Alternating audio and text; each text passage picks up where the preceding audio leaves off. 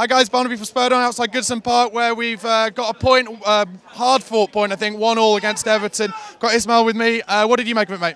Uh, I think it was a good game. I think uh, both teams had chances. We dominated the first half. I think in the end it was a good good result to come away with a draw. Yeah, absolutely. I think other teams are slipping up here. Who really impressed you out there today? Obviously Dele Alli's goal, but who else? I think Dele Alli played really well. Jan Vertonghen and Mark Lukaku out of the game. I think Harry Kane's looking a bit tired, but hopefully we can beat Leicester next week. Yeah, that's right. Leicester at home, two home games against Leicester, one in the Cup, one in the league coming up. Where do you think this, I mean, obviously we're fourth in the league, but where should we hope to aim to finish this season, do you think, after games like that?